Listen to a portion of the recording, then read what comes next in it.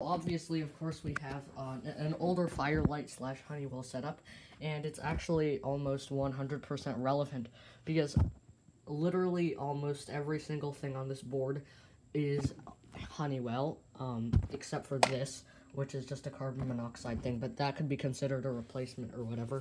So this is a Fire-Lite BG12 SL. It's it's actually I believe my first pole station. A I recently fixed it because I completely destroyed it.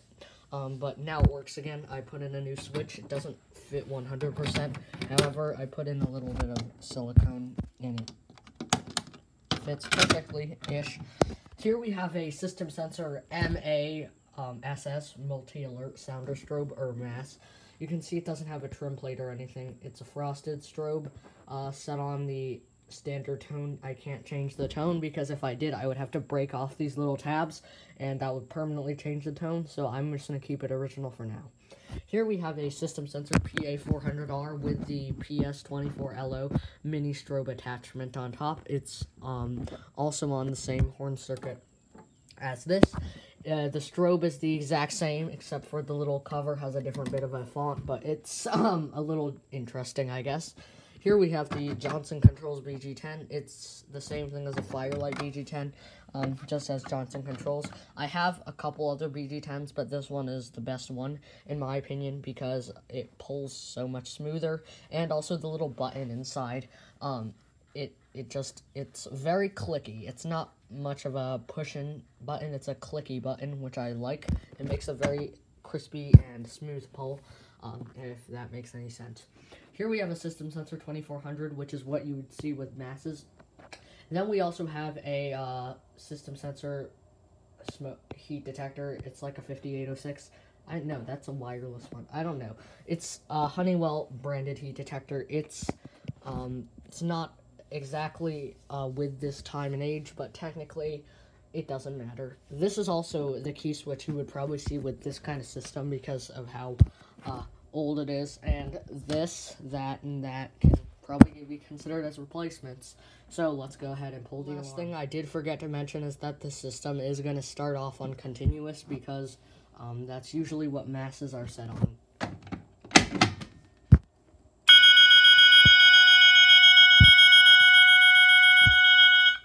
Masses are quite loud, as you can tell. Since this is technically a two-wire device, it doesn't flash. This um, still flashes after the system has been silenced. It flashes pretty slow. It's not very bright. As you can see, I can look directly into it, and it doesn't hurt my eyes at all.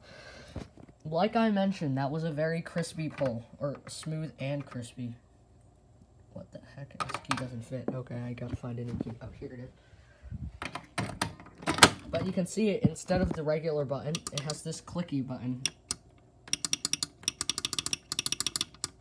Another BG10 from my collection. It's just one of a bunch. And this is a really nice pull station, except for the fact that you can see it's a little different. First of all, it has no thing here. The ones I have, they this is the only one that has that, even though some of them are just have a piece of metal bent over there. And I just like this mechanism a lot better. It feels a lot more well built. Here we have this button, like I mentioned before. These most BG10s, they just have this kind of button. It doesn't make much noise. It's very, it doesn't feel very nice. I'm just going to be honest. It's not very springy at all. This is very springy. I like it a lot. And also, it's just so, you know, versus, I mean, I just spent like two minutes talking about BG10, so I'm going to move on.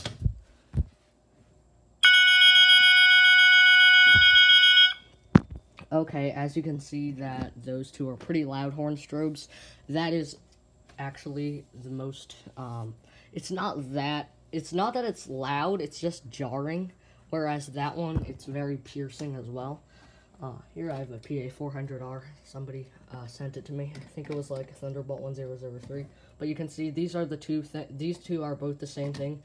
It's just that this one has the little mini strobe attachment. Um, but yeah, so of course this one resets like a regular BG12. You can see it just doesn't have the little push mechanism you just pull down. Um, but yeah, BG12 SL.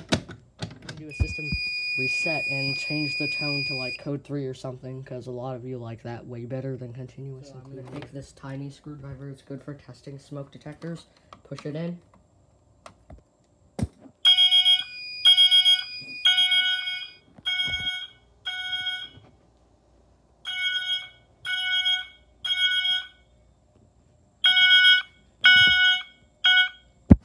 so that's that, and I don't really have a way of testing that uh, heat detector because I don't have a hair dryer on me at the moment. So I think I'm just going to go ahead and do the test switch. That's why I always put heat detectors here because it's convenient. Okay, that obviously works, so now we can go ahead and do a system reset. Alright, thank you guys for watching this video. Please like, comment, and subscribe. I will see you next time. Uh, oh. Yes, right, I forgot to do that. Okay, anyway, see you.